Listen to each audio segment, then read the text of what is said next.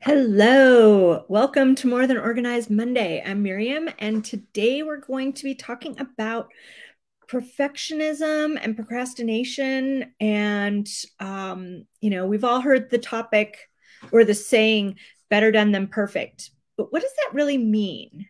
And what if you're struggling with either or both? Um, that's the dilemma. And I'm going to talk to you about some ways to reframe that a little bit. It's something I struggle with frequently.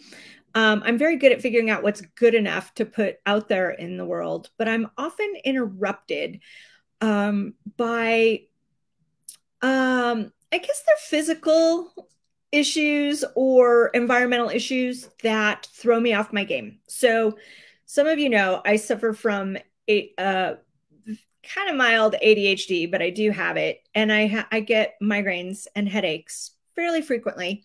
And so sometimes my best efforts to get something done, um, even if it's not perfect, are hindered by kind of physical situations or um, if the weather's crazy, like it was last week, I get a headache for two or three days that's mild, just enough to make me cranky and not in the best frame of mind to do certain work. So, what what can we really do to help get things done anyway? Um, so let's talk a little bit about what what perfect is and what done looks like and how to balance the two, right? So perfection is when um, you put things off because you need all the things to do it right. You need all the time and space in the world to get it done, to fine tune it, to reframe it, to rearrange it, to double check it, to have 30 people's input. Um, the fine tuning could go on forever. Or it can also, and or it might be that you feel like you need more knowledge before you can even start. I don't know enough yet to, to begin that. Um, I'm going to have to take these 12 other classes before I can even think about doing something like that. That's where perfectionism is the hindrance, right? That um, feeling of not good enough or don't know what I'm doing or all the stars have to align before it can even happen. That's when it can become a problem. And then done also has some drawbacks. So that better done than it really has to be established what your good enough is before you do a thing that requires a lot of effort and you're going to put out there into the world. Um, and I'm not by no means am I saying don't be afraid to look foolish or um, not exact on certain things, but what what's enough? Like your minimum viable product to get out there, your minimum viable effort to do something. Like take something simple. Like, are you not doing your dishes because you don't have your favorite brand of dish soap? and you may need to learn how to take off that extra baked on residue before you even start doing the dishes or are you just going to throw some soap in the sink and go ahead and do it and that's good enough however it comes out and you can learn more about it later or in the process of well that doesn't work on to the next iteration right it can be something as simple as that when you look at it but what um so i think of done as when you creatively use what you have on hand and set aside the uninterrupted time to actually do the work. And that a version of what you're working on is enough to iterate from. What's that good enough that you can then iterate and, and improve in the future about whatever it is you're doing? Does it have to be perfect this the first time? No. Should it be excellent?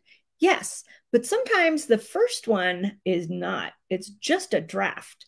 So think about that as well. When can you get away with a draft for the first effort?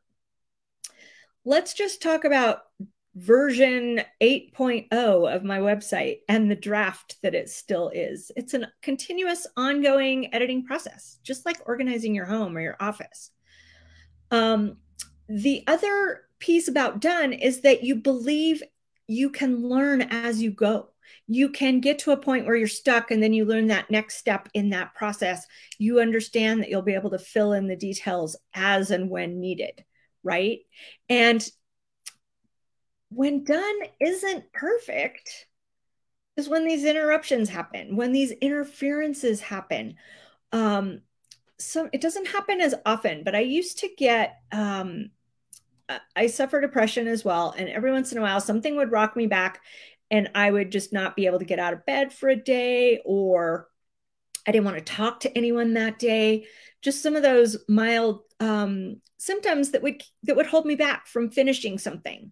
So deadlines for me go out the window, especially when they're just deadlines with myself.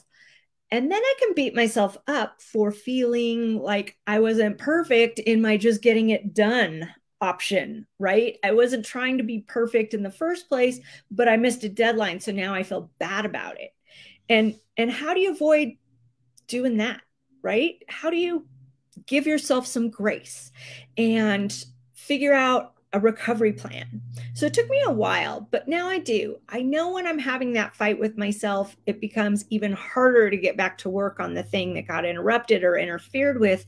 And so I have a recovery plan where I literally give myself an extra depending on the project an extra bit of time so sometimes it's a day sometimes it's a couple hours sometimes it's a week depends what the project actually is um, but I just give myself an extension and say, it's okay. The timing wasn't great. This time I'm going to do it and it's going to go smoother and things are going to come into play, uh, fall into place, and it's going to be perfect this time, at least excellent, even if it isn't perfect. So just consider that. Take a look at when you are hesitating to do something or finish something or put it out in the world and see which of these areas are you trying to be perfect? Are you just trying to get it done and you're going to have to redo it later and not really save time? Or is there an actual external force that that's keeping you from doing it and by just reframing the timeline of it, you're going to be happy with the result soon, very soon. All right. I will see you next week. And in the meantime, don't forget to subscribe, like, follow, share, notify, turn your notifications on, and tell all your friends because all this stuff is funner when we do it together. And in the meantime, have a delightful day.